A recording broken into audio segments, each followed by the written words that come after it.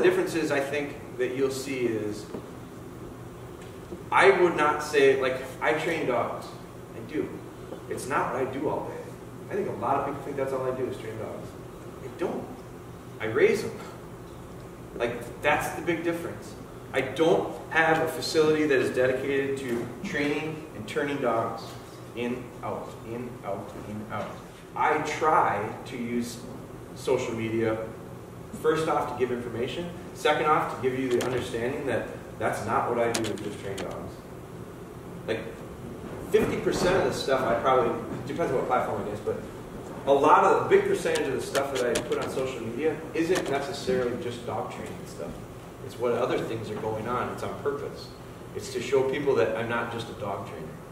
It's not all we do. My hope is when you're here is let's find let's push it to the point where it doesn't go well. And then I I'm pretty sure I can figure out what we'll have to do to make it go well. I don't know that we can do it in a short period of time, but I know we can show you what you need to do. And then the nice part about this one will be she can go in your hands and you can feel what it feels like to do it.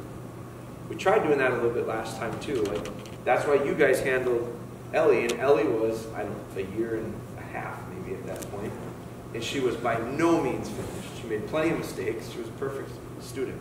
She'll still do it this time. And the thing that'll be interesting is we'll really be able to show you this element of how important you are as the handler.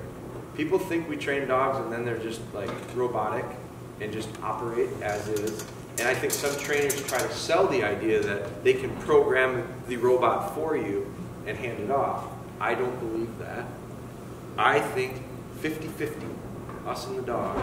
And so I might be able to show you some things with Ellie because Ellie and I know each other pretty well.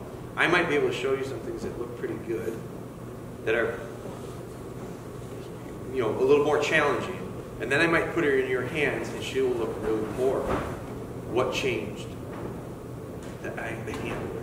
So at that point, then I go, okay, now how how do I get you to understand how it should feel?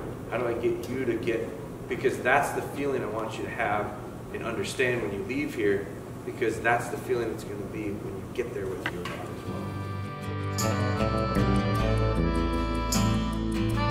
well.